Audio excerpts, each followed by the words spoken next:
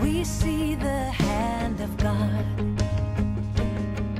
in the light of creation's grand design, in the lives of those who prove His who walk by faith and not by sight. Good morning and welcome to the Chester ARP Church Devotional Podcast. Hey, I'm Clint Davis. Thanks for being with us. Acts chapter 22. The Apostle Paul has been arrested in Jerusalem. The Roman authorities intervened to save Paul's life. And now the Apostle Paul has a chance to uh, speak to the people, the uh, opportunity that was given to him by the tribune, the Roman governor, government, the tribune of the province. And so when he's asked who he is, he says, Listen, I am um, a Jew from Tarsus of Sicilia. This is at the end of chapter 21. He says, I'm a Jew of Tarsus in Sicilia, uh, Cilicia, a citizen of no obscure city. I ask you to permit me to speak to the people. And of course, the Roman tribune gives him that opportunity. And Paul stands up in all boldness, certainly protected by the Roman authorities, but stands up in all boldness in the face of the opposition and pleads with the people of, of Jerusalem to trust in the Messiah who is the Christ. And so we find this in beginning of chapter 22 beginning in verse 1. Brothers and fathers, Paul says, hear the defense that I now make before you, defense of his own actions. And when they heard that he was addressing them in Hebrew, they became even more quiet. And he said, I am a Jew, born in Tarsus of Cilicia, but brought up in this city, educated at the feet of Gamaliel, according to the strict manner of the law of our fathers, being zealous for God, as all of you are this day.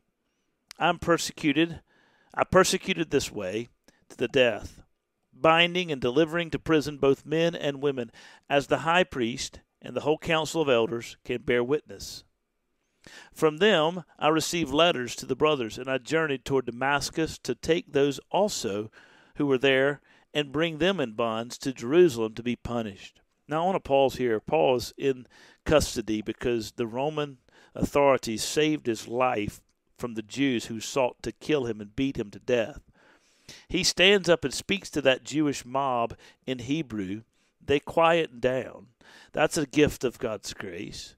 They quiet down. But then Paul says, I was educated at the feet of Gamaliel, a Pharisee, according to the strict manner of the law of our fathers, identifying with them. They're saying Paul has no regard for the law. He says, No, I do have a regard for the law. But I love what he says here being zealous for God as you are all today. Now, I think that is a remarkable statement from the Apostle Paul. How, how many of us would be able to humbly say, Hey, listen, I was zealous for God, and you're zealous for God? He understood in the providence and grace of God, he understood the circumstances and the situation in which they found themselves. He too was one who sought to destroy Christ and Christianity in the way of God.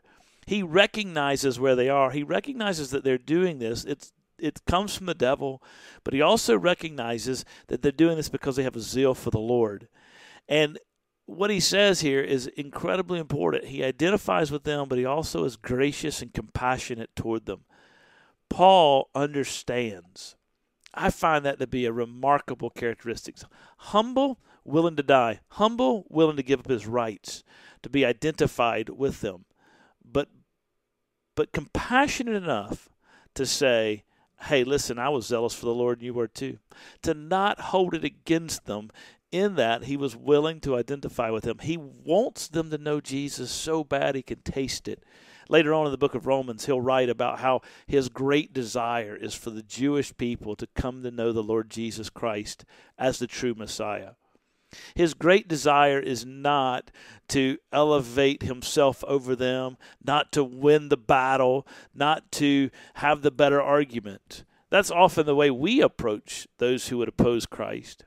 But his great desire is to see those opponents of the Lord Jesus Christ, and therefore opponents of him and his ministry, and opponents of the church, to come to know Jesus Christ.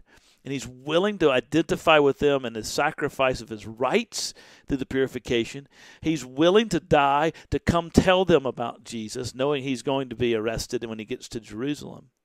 But he's also willing to do it by being compassionate on them as they stand in accusation against him and cry out and seek to destroy them. He's willing to say, you know what, I'm gracious, I'm going to forgive you, I have compassion, because my ultimate goal is to see Christ glorified and to see you come to know him and be happy in him. Man, that's amazing.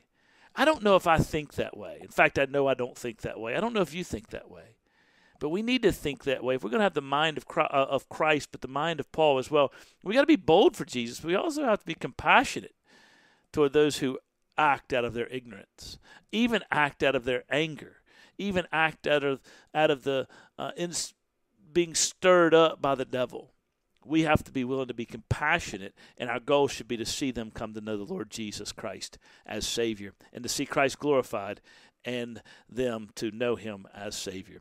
Hey, listen, I hope you guys have a great day. I hope that impacts you this weekend. Think about how you can have compassion, how you can share the gospel, how you can encourage other people to know Christ. I'll see you next week. Take care.